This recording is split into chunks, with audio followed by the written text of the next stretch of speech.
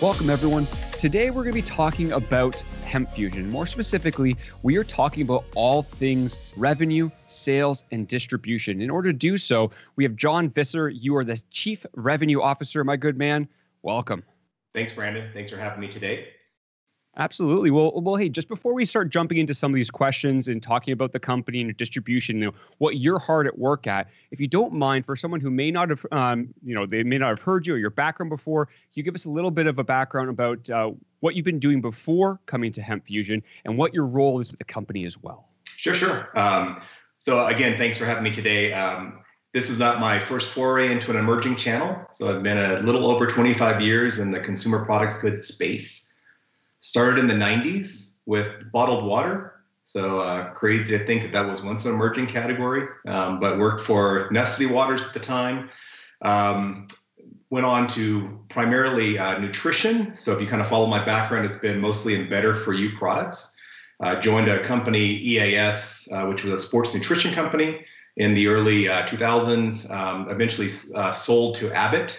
So Abbott Nutrition, a division of Abbott Laboratories. Uh, combined, spent about a decade um, with the AS and Abbott, uh, running mostly the what what they considered emerging channels. So, and again, back then, uh, e-commerce was an emerging channel. So, you know, was was early on listing um, stuff on Amazon products. Uh, was uh, very early with Subscribe and Save, and so um, continued on with Premier Nutrition, which sold to Post Holdings and um, another sports nutrition company. And uh, prior was Navajo Incorporated, which is a large focus on general merchandise and um, health and beauty items. So um, currently, um, as you mentioned, I'm the chief revenue officer with Hemp Fusion Wellness Inc. And uh, my goal is very clear, and it is to develop and execute strategy for the commercialization of our brands um, in our targeted retailers, our targeted channels of trade, our markets, and uh, both domestic, domestically and globally. Yeah, absolutely. I appreciate that. It was a very detailed and, and very in very uh, quick succession. So I appreciate that very much. I think people have an understanding now of the pedigree that you've had throughout your career and now what you're doing with this company as well, uh, which jumps uh, allows us to jump right into the questions because recently you had a news release come out that Hemp Fusion, uh, your OTC topical products, were number one in both units sold and the dollar amount sold for a major food and drug mass retailer, FDM. Uh, can you explain a little bit, you know, what does this mean for your company to be able to achieve that? But also for some investors who may not understand why, can you explain why that company may want to stay anonymous at this point or is asked to stay anonymous at this point? Yeah, no, no, great, great, great question. So it's very exciting. Um, you know, I think our performance demonstrates that our overall strategy of having the right products validated by regulatory compliance in the right locations at the right price point, that strategy is working um, you know, it really validates the overall brand. And um, I would say coming in second or third is okay, right? But achieving the number one position, in the overall category performance is always the goal, and we're very proud of this accomplishment. Um, so further to that, um, you know, uh, we we view our retailers as very collaborative relationships, and it's going to be very key to our growth in the brick and mortar space. So we're very confident in our ability to assist our retail partners in growing their overall CBD categories within their store. Honored to have the opportunity uh, to serve as kind of category advisors or potentially category captains when designated. And um, again, our re- relationships with these retailers are partnerships, and these retailers are very large organizations with very precise communication directives. And um, so we don't ever disclose performance of a specific retailer. Um, these retailers will disclose kind of the performance um, in the public arena as they see fit. Yeah, absolutely. And then I will say that the last thing is the sorry to cut you off. The advantage of, of, of access to syndicated data, such as Nielsen IQ, does give us um, the ability to look into the category and have a, a scoreboard, right? And uh, I will I will tell you, Brandon, we'd like to win. Yeah, absolutely. I'm sure investors love hearing that as well. And I appreciate that under, uh, that explanation because some investors were curious. You know, if it was that good, why can't you say it? there, there's good reasons behind that, of right. course.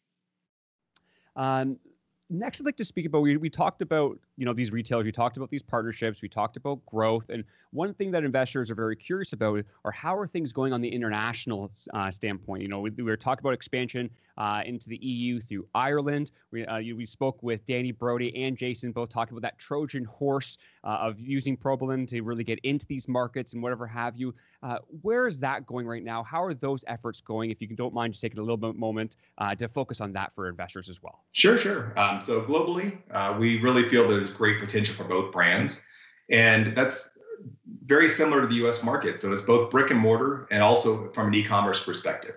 Um, Probulin Probiotics, and not that everyone knows, but has been an established brand internationally uh, for the past years, specifically in the UAE.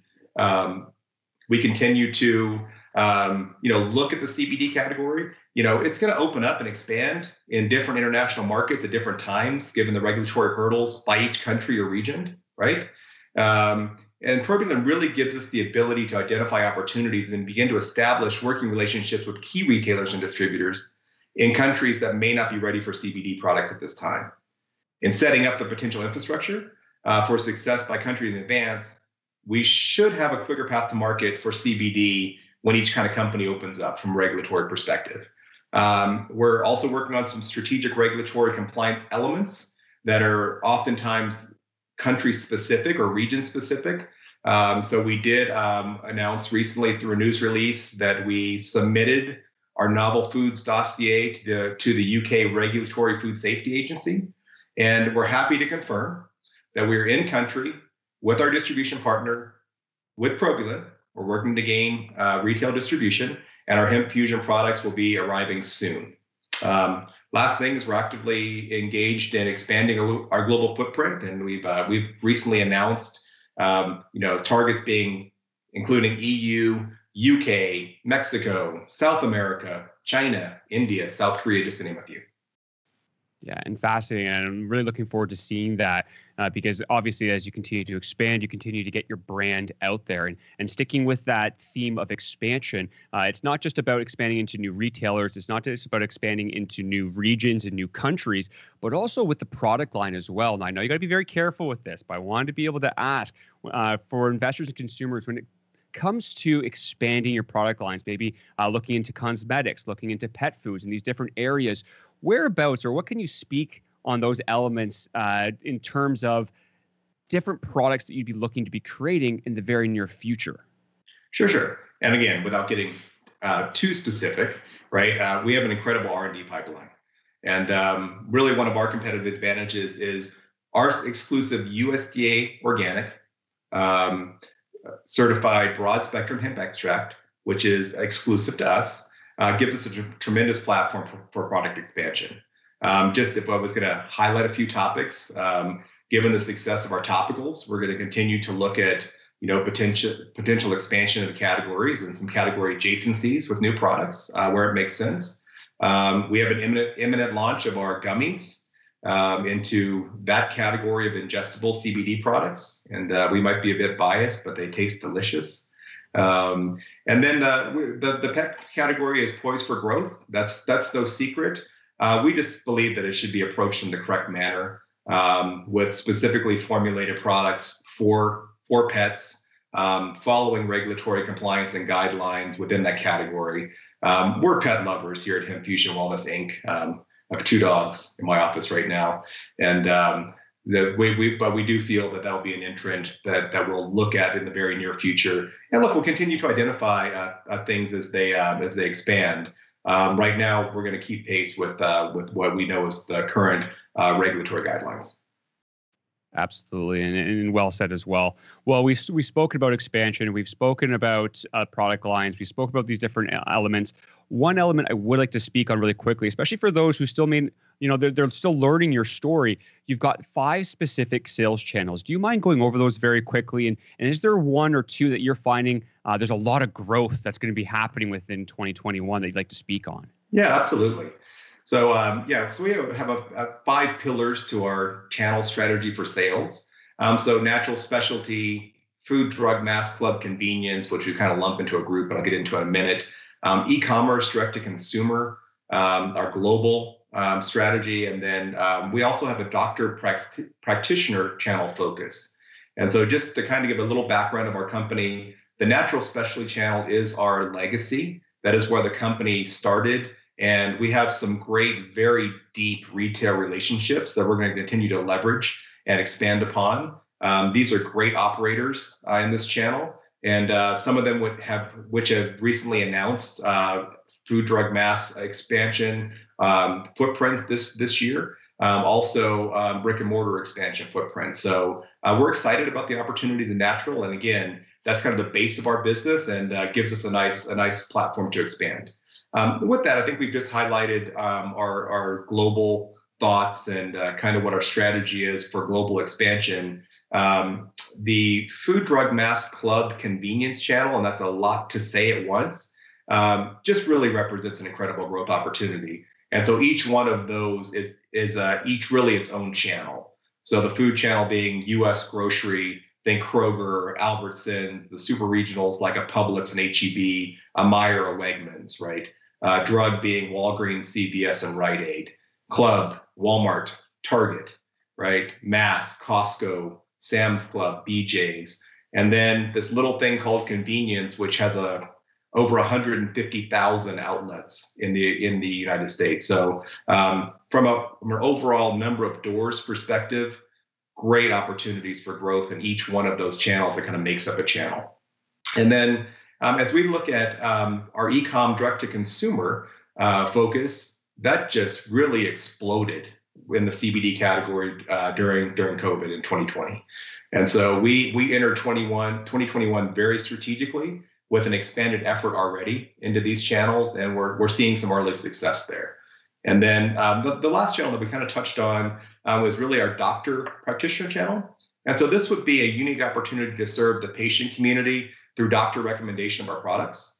And we have products specifically branded for this channel. So we have a product biome research which is our doctor practitioner version of Probulin. And we have a product, HFF Labs, which would be our doctor practitioner uh, brand for uh, Hemp Fusion. Um, we've witnessed a significant shift to telemedicine um, as a result of COVID and continue to pivot in this channel with expanded partnerships with distributors and also direct patient ordering access through our web, our web portals. And then in regard to the fastest growing, I mean, like it's no secret, our goal is to grow all these channels um, uh, in 2021 and beyond. I would say that if you looked at the overall absolute number of opportunity, food, drug, mass, club, convenience, or FDMCC just has the, the largest number of brick and mortar retail locations. Absolutely. Well, well, Jon, I, I, appreciate so much for your time going over all these different questions and giving a lot of information to investors who are are both currently investing with you and always looking to continue to keep up to speed and learn more, but also the new ones who come in and go, you know, I've, I've never heard this company and be able to see people like yourself at the helm. I think that gives a lot of confidence to these uh, individuals, especially you know talking about all the things you have in the go. It's very very exciting. I look forward to continuing to see all the progresses that your team has been uh, accomplishing and everything that's going to be happening throughout 2021. So once again, I just want to thank you very much for your time and coming on today. Thank you very much, Brandon.